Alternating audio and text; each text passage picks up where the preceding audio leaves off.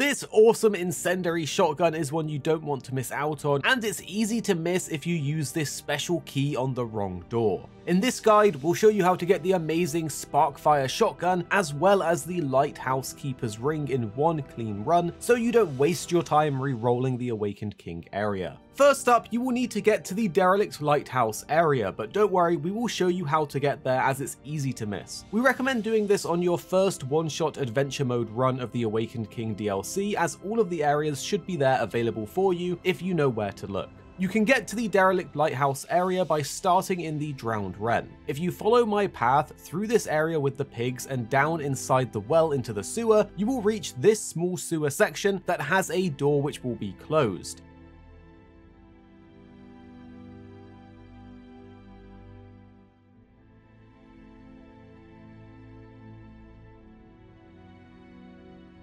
You need to get on the other side of this door. So I recommend using your mini map and exploring until you can get to the other side of the door at this exact spot. And to get there, you will be nearer the docks area and there is a small checkpoint as well. There's nothing blocking you getting to the other side of this door by exploring and going around the map. For me personally, I went through the area with the boats and then eventually reached the other side where the checkpoint is. And once you make your way there, make sure to open up the door so the shortcut's here for another time. Next, you want to head deeper into the sewers and follow the path pathway where the water will then lead you and around to the right where you will eventually find a warp door. This will take you to the derelict lighthouse map and there will be enemies on the way so make sure to kill them or run fast.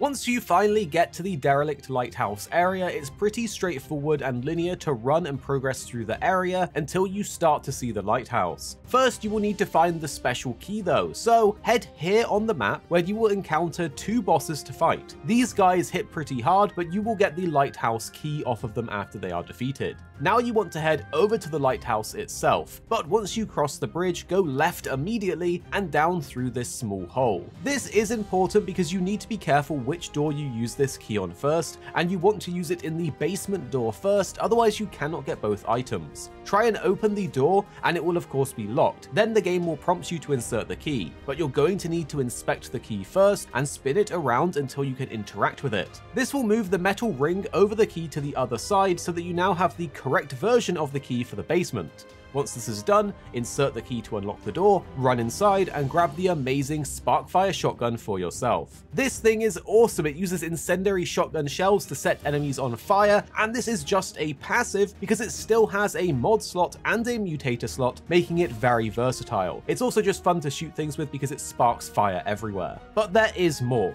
Next, you need to head to the top of the lighthouse where you can find another locked door. You're going to need to do the same as before, try to open the door, inspect the key, interact with it to flip the metal ring over, and then unlock the door. And after this, you can run inside and grab the Lighthouse Keeper's ring, which is perfect for status builds as it lets you generate additional mod power for each entity within 10 meters suffering from a negative status effect, and it stacks up to 5 times. By doing it this way, you can get both the shotgun and the ring in one clean run without wasting your time. So now you have some extra gear, I would love to know what builds you are currently running. So tell us down below and make sure to follow for more daily gaming news, videos, guides, and more.